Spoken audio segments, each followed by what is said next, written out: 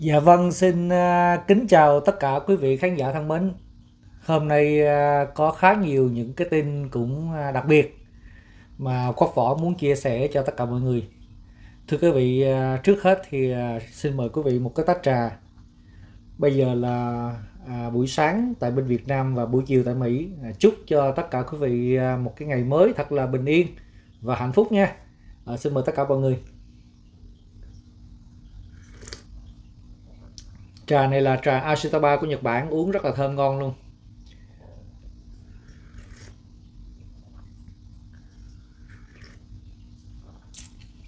Đó, sáng sáng mà mình uống trà nóng như vậy đã lắm quý vị. Hôm nay à, để tranh thủ thời gian rảnh rỗi đó thì à, Quốc Võ sẽ cập nhật cho quý vị một số những cái tin cũng quan trọng. Đầu tiên là báo cho một cái tin mà mình đọc qua rồi mình thấy rất là xúc động luôn. À, một cái người con hiếu thảo với cha mẹ, một cái người mẹ phải tần tảo nuôi con suốt cả một cuộc đời để mà nuôi cho con ăn học thành tài. Khi mà con mà lãnh cái bằng mà thạc sĩ về về luật đất nước Việt thạc sĩ luật, thì à, đứa con à, mới cổi cởi cái cái áo mão mà về thạc sĩ đó, để lãnh mà tốt nghiệp đó, thì mặc cho mẹ của mình và quỳ xuống lạy mẹ của mình để tả tạ cái ơn mà mẹ đã nuôi nấng à, mẹ cưu mang à, sanh thành ra nuôi nấng dưỡng dục. Đấy cho, cho, cho con thành người. Bây giờ tốt nghiệp à, thạc sĩ à, luật và bây giờ chuẩn bị học lên à, bảo vệ cái luận văn là tiến sĩ luật quý vị. Thì báo tuổi trẻ họ đăng như cái bài viết này ai đọc qua cũng cảm thấy rất là xúc động. Và kèm theo là một cái tấm hình chụp của một cái học sinh ở trung trường họ chụp lại một tấm hình là đứa con quỳ xuống lạy mẹ thật sự mình nói rằng là mình xem những cái ờ, những cái bài viết và những cái tấm ảnh này rất là cái cảm cảm thấy cái trái tim mình nó giống như là nó uh, nó nghẹn ngào quý vị. Nó rất là xúc động luôn á. Thì uh, cái người mẹ này tên là bà Trung.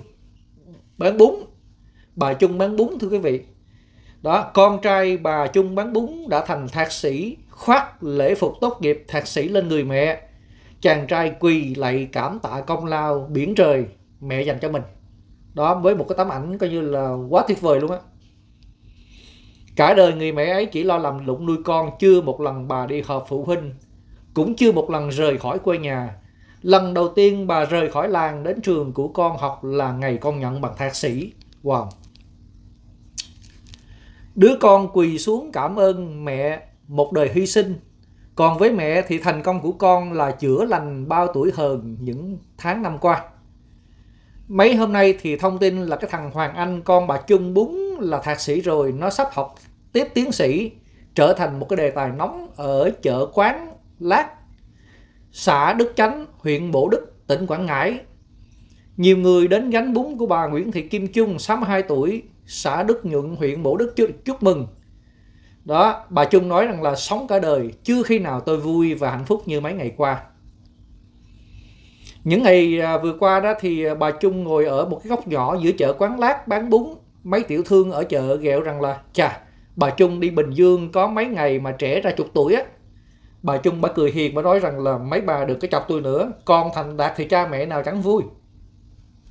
Đó là câu chuyện của một cái anh chàng tên là Nguyễn Hoàng Anh 26 tuổi giảng viên trường Đại học Thủ Dầu Một, con của bà Trung, thưa quý vị. Vừa nhận bằng thạc sĩ luật và sắp học lên tiến sĩ luật với cái đề tài là pháp luật Việt Nam về xúc tiến du lịch, râm ran khắp làng trên xóm dưới. Nhưng không phải là bà khoe mà thầy giáo của um, Hoàng Anh đó, tức là thầy là Ngô Khắc Vũ đó. Đó, à, cái thầy này là thầy cũ ngày xưa, thầy cũ ngày xưa của giáo viên của trường phổ, trung học phổ thông của Mộ Đức Hai đó đã đăng tải lên Facebook thì lúc đó cái câu chuyện này mới râm ran nở rộ ra. Đó. Thì ông thầy Vũ này ông thường xuyên lui tới để động viên bà Chung lo cho con ăn học. Khó khăn thì thầy sẽ kêu gọi thêm nhà hảo tâm giúp. À, hơn ai hết á, thầy Vũ là họ ông biết rất là rõ sự nỗ lực của hai mẹ con này. Ông nói rằng là bà Chung sức khỏe rất là yếu cuộc sống nghèo khổ bà là điển hình của một người mẹ cả đời vì con mà sống tôi thấy câu chuyện này là một câu chuyện tạo cảm hứng học tập đạo hiếu cho mọi người nên là đăng tải lên đó đời bà thì không êm đềm chuyện tình cảm Hoàng Anh được sinh ra từ mối tình bị ngăn cấm. Bà Chung lặng lẽ rời khỏi người đàn ông của đời mình lầm lầm lũi lầm lụng vì con mà sống. Nghèo quá, bà quằn quặt nuôi con, cái đói treo lơ lửng không cho phép bà nghỉ ngơi. 40 năm bám chợ, bà Chung chưa nghỉ ngày nào. Dù đau ốm, bà cũng gắng sức gánh bún ra chợ bán. Vậy nên bà buổi chiều cái à, vậy nên là ba buổi chợ liền bà nghỉ để vào vào Bình Dương nhận bằng thạc sĩ cùng con đó. Thì cả nguyên cả cái chợ quán lát này đã tá hỏa. Không biết bà xảy ra chuyện gì. Một đời lo cơm áo từ khi con đi học bà chưa một lần dự họp phụ huynh. Không biết con mình học thế nào. Tôi phải đi làm để có tiền mua gạo bà Trung nói vậy nhưng người mẹ ấy lại chưa một lần từ chối con xin tiền đi học mua sách vở nhiều lúc không có tiền thì bà cũng đi mượn góp quanh chợ rồi bán bún làm thuê để trả dần. Con leo từng nấc thang học vấn thì bà lại âm thầm theo sau. Bà chung ít chữ, năm con học lớp 9 thì kỳ thi chuyển cấp không đậu. Sau đó nghe nói rằng là con đi học ở trung tâm giáo dục thường xuyên và hướng nghiệp dạy nghề ở huyện ngũ Đức thì bà nghĩ mãi con không đậu thì làm sao đi học được. Nhưng bà không quan tâm, miễn con đi học là được rồi. Bà động viên con. Bà nói rằng là cố mà học nha con. Có cái chữ đỡ khổ con à mẹ nghèo nhưng mà con học thì mẹ lo được. Rồi nói về câu chuyện của anh chàng Hoàng Anh này thì là một buổi chiều à, đó nọ đó thì à, bà Trung à, lần đầu rời khỏi quê nhà lúc vào đến Bình Dương thì rồi được con dẫn lên thành phố Hồ Chí Minh chơi. Người mẹ quê chón ngợp trước là phố thị hơn hôm con nhận bằng thì bà dậy thật sớm mặc chiếc váy đẹp nhất của đời mình soi gương mấy lần bà thấy mình lạ lẫm và tự ngượng với chính bản thân mình. Đời bà lam lũ có khi nào mặc đẹp như vậy đâu. Nhìn mẹ Hoàng Anh thấy xót xa, anh bảo mẹ đã vất quả vả vì mình quá rồi. Nếu không có sự hy sinh vĩ đại ấy thì anh không có ngày hôm nay. Cho nên là lúc nhận bằng đó thì Hoàng Anh khoác cái lễ phục tốt nghiệp lên người mẹ mình. Chàng trai quỳ xuống cảm tạ công lao biển trời mẹ dành cho mình.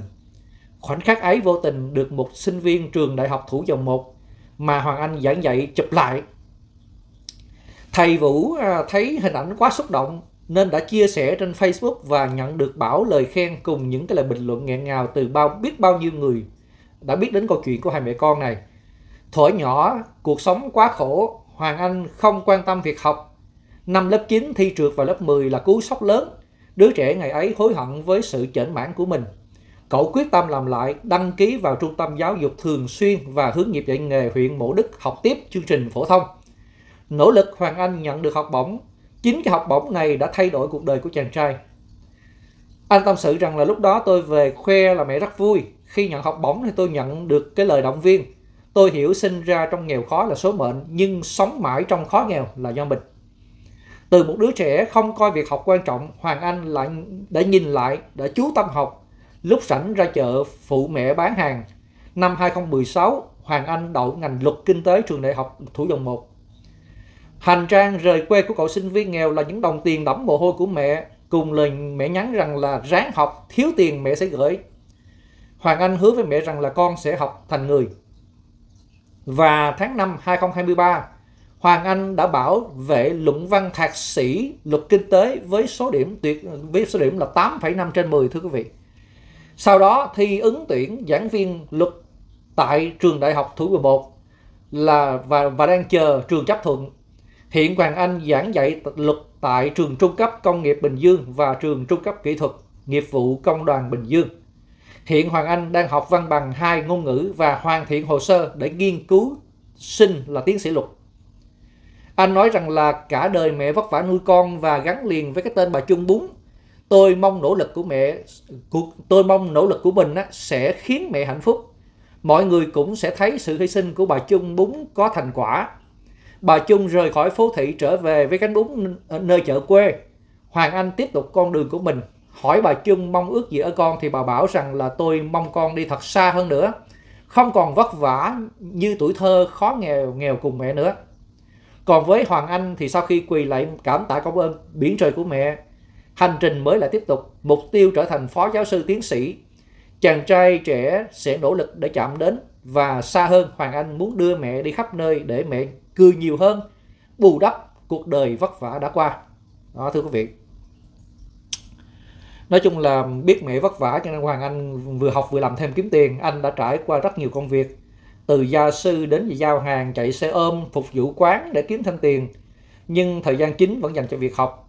Và người mẹ ở quê thì không biết con học gì vẫn tần tảo khi con cần lại gửi tiền.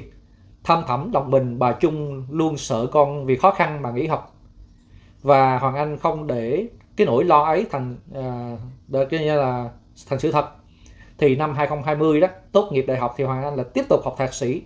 Và cái người mẹ lại nói rằng là học đi con mẹ lo được và bà Trung đã mãi miết theo con mình. Dẫu chính bà không hiểu đủ cái từ là thạc sĩ là cái gì, quý vị. Đó, cái bài viết cũng khá là hay.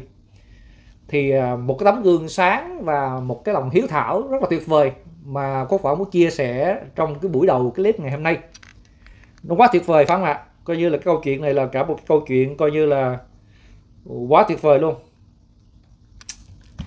à, bây giờ chúng ta cùng à, uống một cái tách trà nữa đi. Xong rồi à, quốc võ sẽ chia sẻ một cái câu chuyện ngược lại thưa quý vị. Bây giờ xin mời cả cả nhà mình ha.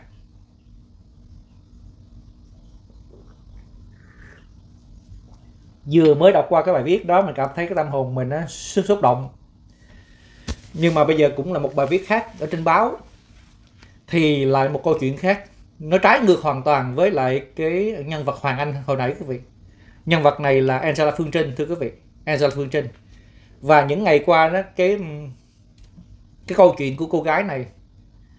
Angela Phương Trinh thì uh, tuổi đời là lớn hơn Hoàng Anh. Hoàng Anh năm nay mới có 24 thôi. Còn Angela thì có thể là 29 28 29 tuổi rồi thưa quý vị. À, cái bài viết mới nhất cách đây cũng vài tiếng thôi.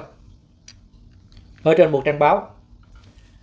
Angela Phương Trinh xác nhận không gặp mẹ hai năm qua.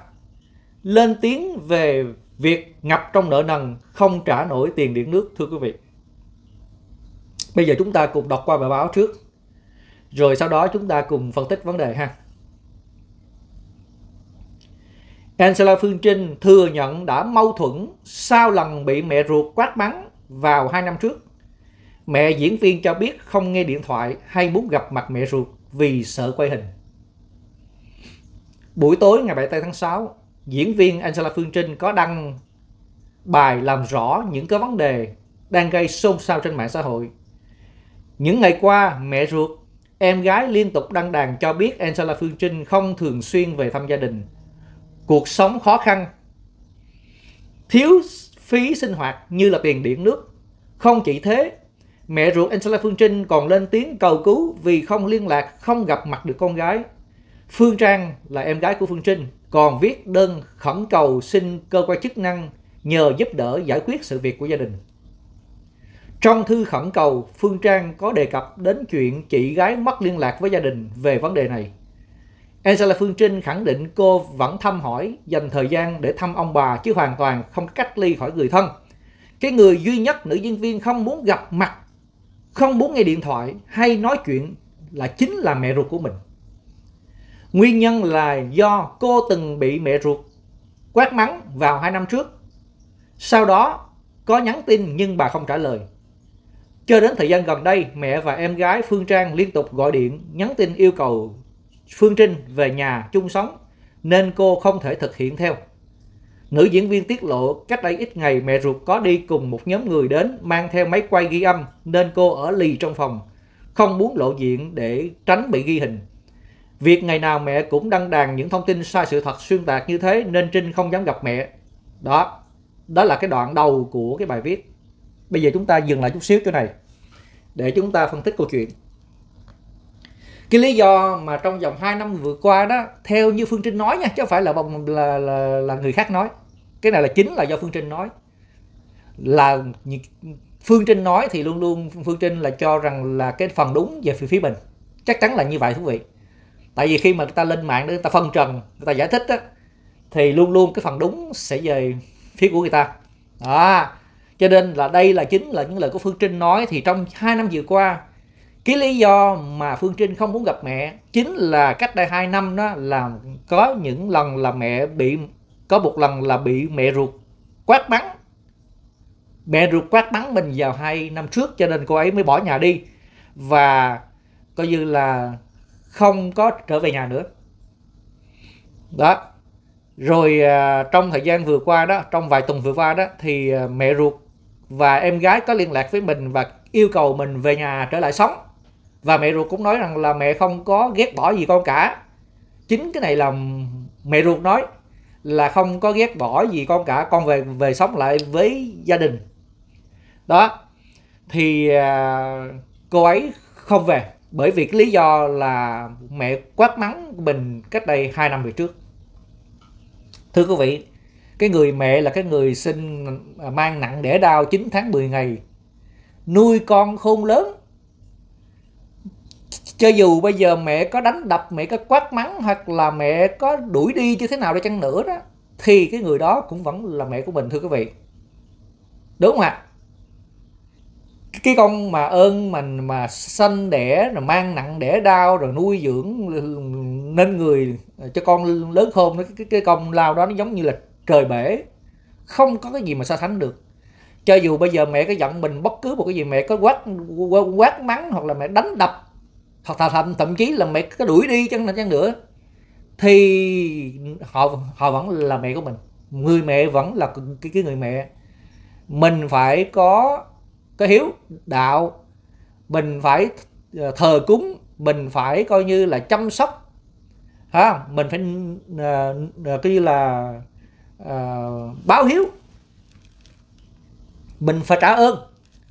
Chứ không thể nào mà gì mà mẹ mà quát mắng mình trong hai năm trước rồi mình lại bỏ nhà đi, rồi trong hai năm nay mình không có về nhà, không có muốn gặp mẹ nữa. Còn những người khác thì mình vẫn gặp bình thường, chỉ có mẹ thôi.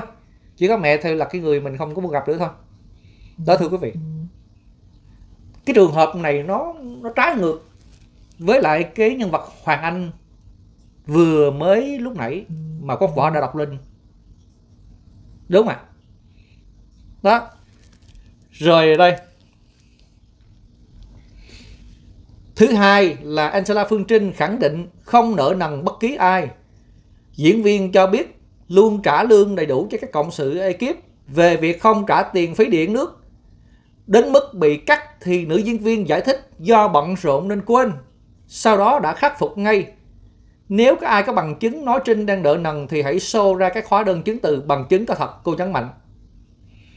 Là là sao? Thường thường là đâu có phải phải là bị trễ tiền là họ cắt liền đâu quý vị.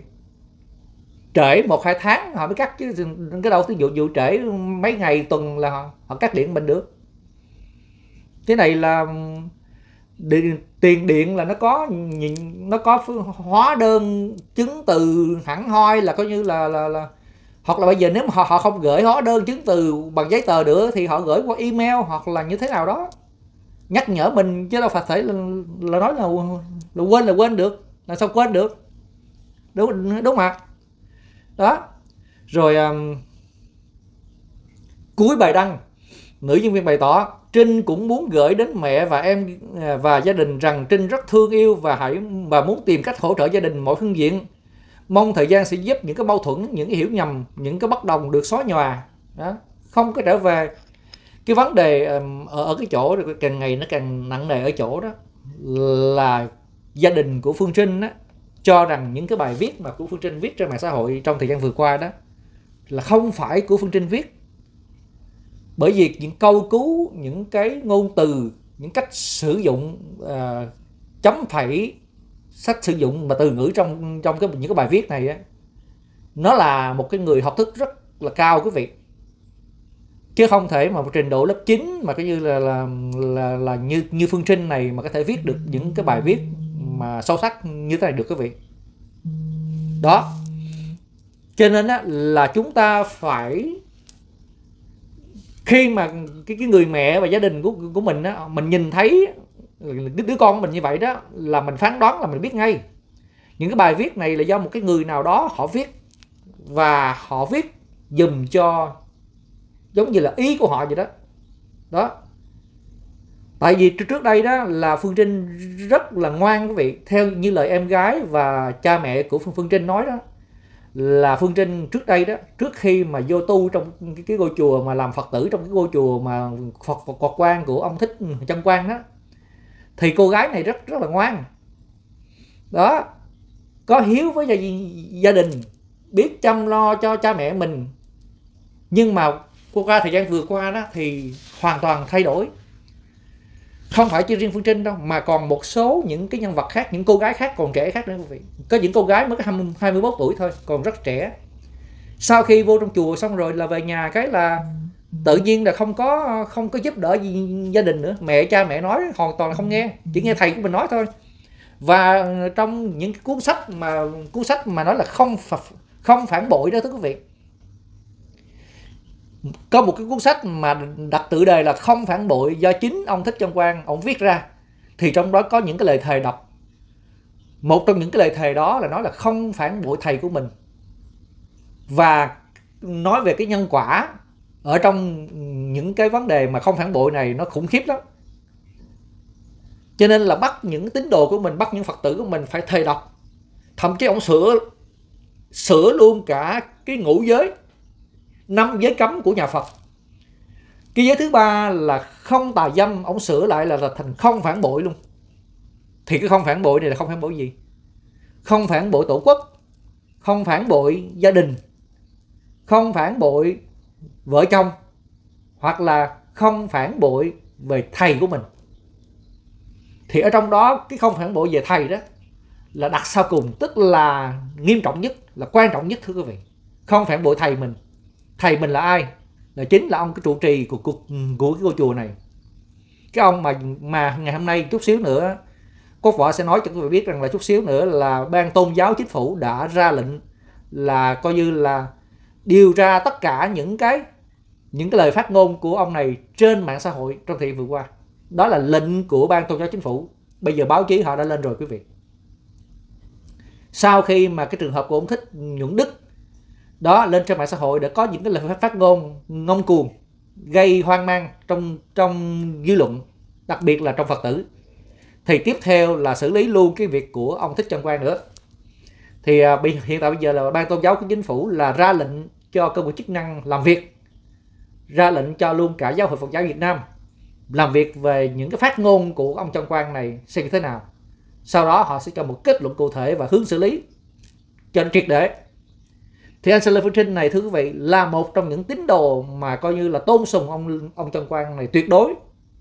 Cho nên những cái gì mà thầy mình nói là đúng, là tôn chỉ, đó là số 1 còn cha mẹ mình và những người khác nói là đồ bỏ. Đó, thưa quý vị, thấy nguy hiểm chưa? Như vậy thì không biết là như thế nào nha. Hiện tại bây giờ rất là nhiều báo chí cũng lên tiếng và rất là nhiều youtuber truyền thông cũng đã lên tiếng về cái vấn đề của ông Trần Quang này. Bên cạnh đó Angela Phương Trinh là một trong những cái bác xích quan trọng. Đó. À, tiếp theo là thưa quý vị. Ngày 7 tháng 6 trên trang cá nhân Lê Ngọc Phương Trang tức là em gái của Angela Phương Trinh đó đã chia sẻ ảnh chụp đơn khẩn cầu mà cô và gia đình gửi đến cơ quan chức năng. Theo hình chụp đơn khẩn cầu được Phương Trang đăng tải cô cho biết kể từ năm 2021 mình và chị gái đã không thể hòa hợp trong nhiều quan điểm nên chỉ chia sẻ với nhau trên phương diện là chị em trong nhà, hỏi thăm sức khỏe nhau. Tuy nhiên số lần Angela Phương Trinh về thăm gia đình không còn nhiều như trước nữa. Từ năm 2023, Angela Phương Trinh không về nhà đón Tết truyền thống, kể cả khi biết người trong nhà bị bệnh nhưng nữ diễn viên vẫn không về thăm. Trước đây chị ấy rất là yêu thương gia đình, luôn bảo vệ gia đình và nếu các thành viên trong gia đình có vấn đề gì thì chị ấy là không ngại ngùng đến thăm ngay trực tiếp. Nhưng bây giờ, đó, nhưng giờ thì ờ, khi khi nói chuyện ngoại ốm, không ăn uống thì chị ấy cũng không đến thăm ờ, chị chỉ cư ngụ mãi trong ngôi nhà của mình và số lần gặp gia đình cũng giảm dần trong những hai năm gần đây. Đặc biệt vào ngày, đặc biệt vào năm 2023 và đầu 2024 đó, chị ấy bắt đầu bỏ đi truyền thống cái ngày Tết tức là mùng một Tết là phải đoàn tụ bên gia đình thì chị ấy đều vắng mặt luôn. Đó, quý vị. Ngày Tết mà không về luôn, quý vị. Cái truyền thống văn hóa của người Việt Nam và đặc biệt là trong gia đình của Phương Trang, từ xưa đến giờ, Phương Trang là em gái của Phương Trinh á, đều nói rằng là ngày mùng một Tết là phải sum họp gia đình lại. Nhưng mà cái Tết vừa rồi là không có Phương Trinh, thưa quý vị. Vắng mặt luôn. Trong đơn, Phương Trang cho biết cô và mẹ nhiều lần đến nơi ở của Angela Phương Trinh, nhưng nữ diễn viên lánh mặt. Bảo vệ nơi đó cũng cấm không cho vào luôn. Cho đến ngày 6 tháng 6 2024, mẹ Angela Phương Trinh đã trình báo công an để được gặp con gái.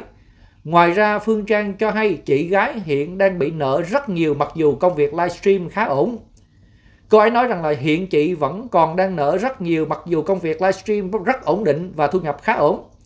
Có một điều rất lạ là trong những tháng gần đây, hầu như chị tôi suy giảm kinh tế trầm trọng, thậm chí không đủ khả năng chi trả tiền xe bảo dưỡng, tiền truyền bảo dưỡng cho xe xe hội xe cơ hơi đó, tiền lương, tiền thuê nhà, tiền điện, tiền nước vân vân.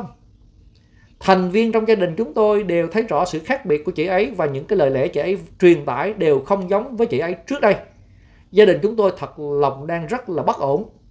Đó, vào ngày 6 tháng 6, mẹ của nữ diễn viên gây hoang mang khi đăng dòng trạng thái rằng là hiện tôi điện thoại con tôi không bắt máy, tới thăm cũng không được. Tôi đang rất hoang mang và cả gia đình rất lo lắng. Má tôi, bà ngoại trên năm nay gần 90 tuổi cũng không thể ngủ được. Mong cộng đồng mạng chia sẻ mạnh là con tôi mất tích, điện thoại con tôi đang bị tịch thu. Những bài đăng của Phương Trinh thật sự không phải Phương Trinh đăng. Tôi rất mong gặp được con tôi hiện giờ. Đồng thời bà nghi ngờ tâm thư xin lỗi không phải do con gái viết. À, thấy ghê chứ quý vị. Mẹ của à, à, Phương Trinh nói rằng là có thể rằng là Phương Trinh bị mất tích. Những cái bài đăng ở trên trang Facebook của Phương Trinh là do người khác viết và người khác giữ cái điện thoại của Phương Trinh. Cho nên bà mới sợ hãi. Bà cùng con gái ruột, tức là em ruột của à, Phương Trinh là Phương Trang đó, để đơn xin yêu cầu là cơ chức năng công an vào cuộc để mà xem xét lại vụ vấn đề này để mà truy tìm Phương Trinh. Đó, thấy ghê chưa? Và buổi chiều ngày 6 tháng 6 đó thì ban tuyên giáo thành ủy, Sở Thông tin và Truyền thông Thành phố Hồ Chí Minh họp báo cung cấp thông tin về các vấn đề kinh tế xã hội trên địa bàn thành phố liên quan đến ồn ào lộng ngôn của Angela Phương Trinh, Sở Thông tin Truyền thông Thành phố Hồ Chí Minh cho biết Hiện Sở đang thu thập và nắm thêm thông tin về vụ việc và sẽ phối hợp xử lý khi có đề nghị, yêu cầu từ các đơn vị liên quan. Angela Phương Trinh đang là đề tài bàn luận trên nhiều diễn đàn, trang mạng xã hội. Theo đó, những cái phát ngôn của cô liên quan tới hành giả thích minh tuệ và phương thức tu học pháp đầu đà, nhận nhiều chỉ trích từ công chúng. Một số ý kiến cho rằng nhiều bài viết của nữ diễn viên mang tính xuyên tạc, chia rẽ, xúc phạm tôn giáo, nhiều người đề nghị công chức năng nên sớm vào cuộc làm rõ các phát ngôn gây sốc của Angela Phương Trinh. Trao đổi với chúng tôi về loạt phát ngôn phản cảm của Angela Phương Trinh thì luật sư Đặng Văn Cường, trưởng văn phòng luật sư chính pháp Hà Nội cho biết, tùy vào tính chất mức độ và hành vi vi phạm và hậu quả gây ra, người phát ngôn đi quá giới hạn pháp luật cho phép có thể bị xử phạt vi phạm hành chính hoặc truy cứu trách nhiệm hình sự. Theo ông, anh sẽ là Phương Trinh từng bị xử phạt 7,5 triệu đồng theo điểm A khoảng 1 điều 101 Nghị định 15 xuyệt 2020 vì chia sẻ quan điểm gây tranh cãi về việc điều trị COVID-19 bằng dung đất năm 2021. Theo luật sư Đặng Văn Cường, tình tiết này có thể là yếu tố khiến nữ diễn viên nhận một mức hình phạt nặng, nặng hơn nữa.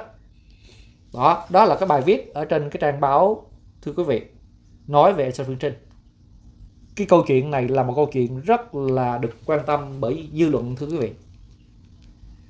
Một mình cô ấy không làm được. Phải có những thế lực đằng sau. Cái ngôi chùa này được trụ trì bởi ông thích chân quang với những cái lời nói gây phản cảm.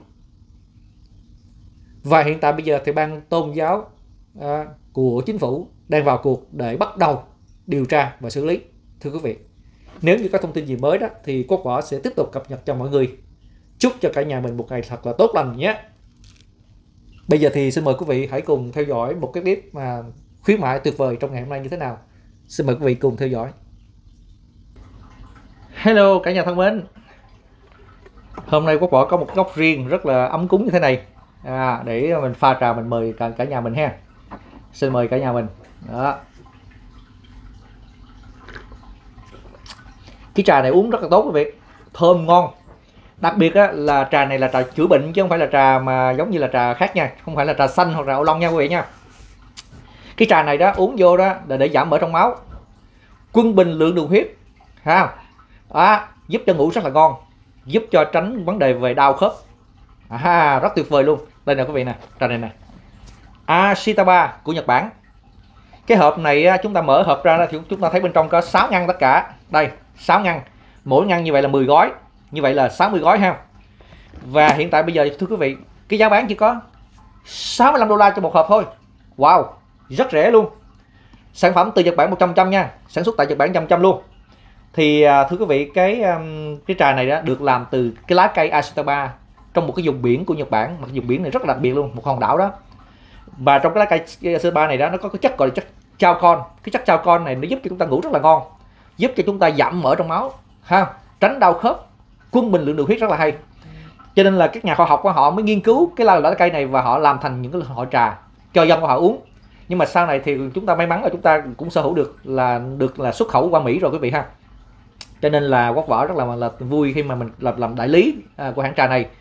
Nhưng mà trong cái mùa tri ân khách hàng của quốc võ này đó thì mình sẽ có một cái đợt khuyến mãi đặc biệt dành cho các khán giả của mình khán giả thân thương của mình.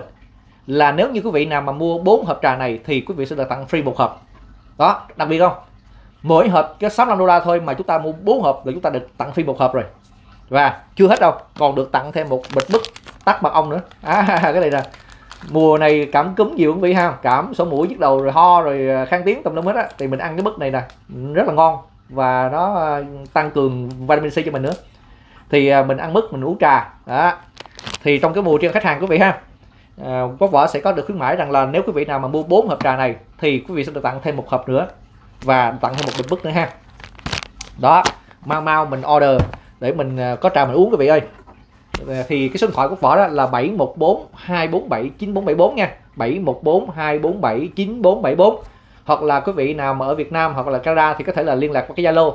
Zalo là cộng 1 714 247 9474 nha. Cộng 1 714 247 9474 rồi, mời mọi người đó mình cứ pha trà như vậy nè cái bình thủy tinh như là mình uống thơm ngon đó quý vị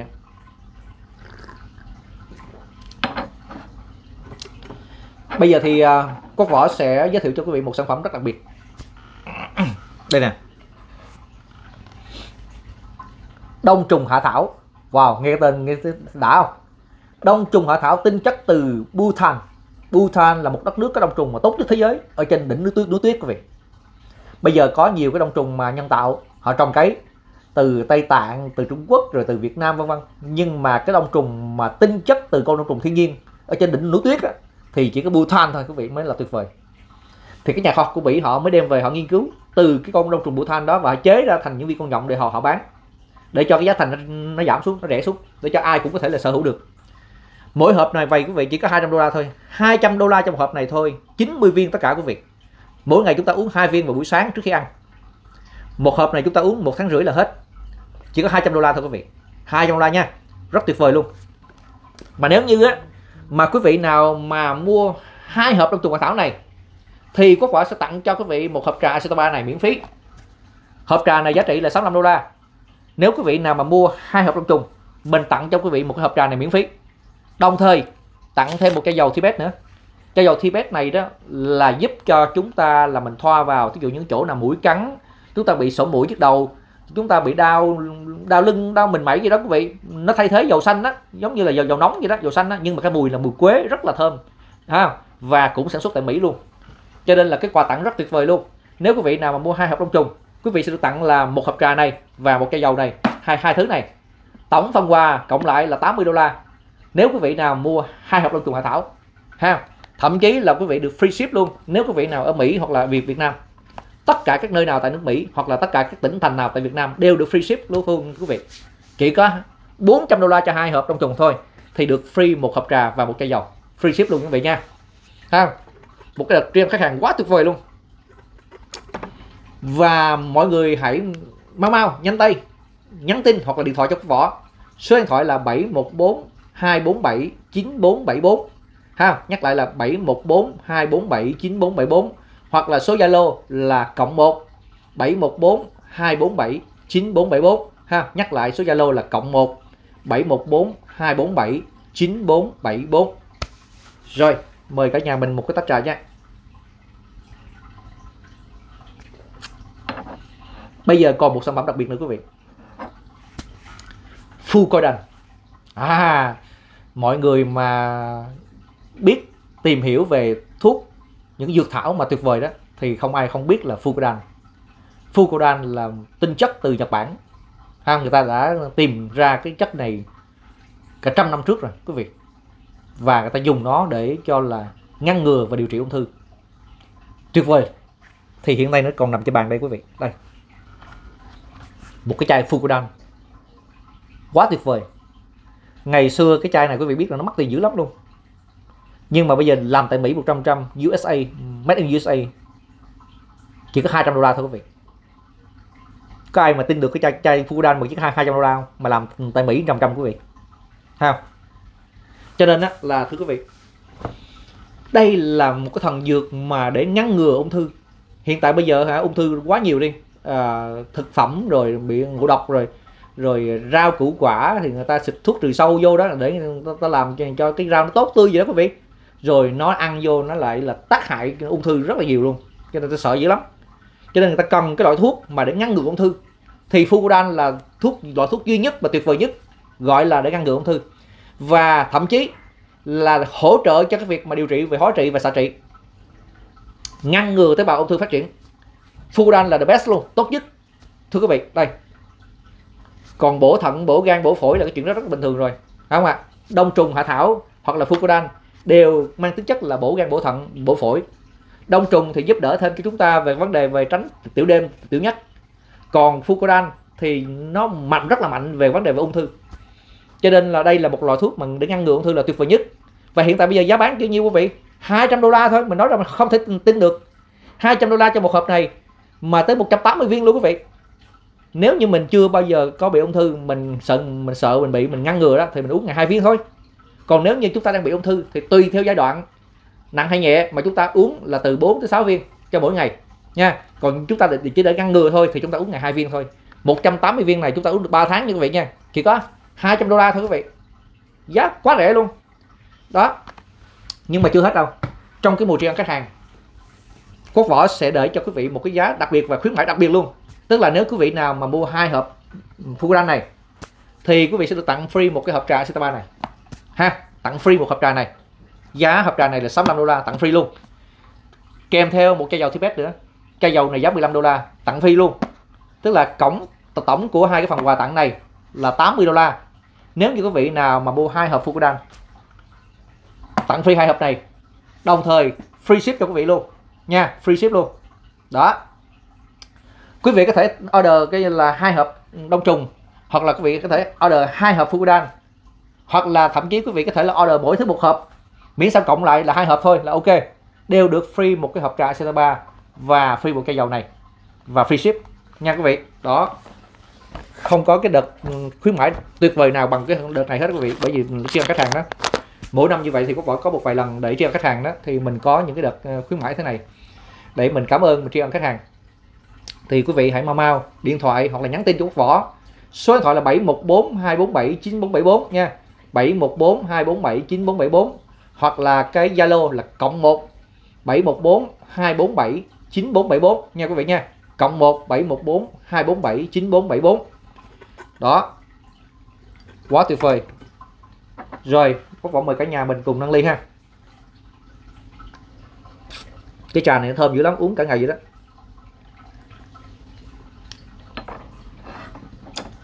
Và nhân dịp cái ngày mới đó, thì ừ, quốc võ xin ờ, mến chúc cho tất cả quý vị à, một ngày mới thật là bình yên hạnh phúc và thân tâm thường an lạc nha. Xin hẹn gặp lại quý vị vào chương trình kỳ tới nha. Ok xin tạm biệt quý vị.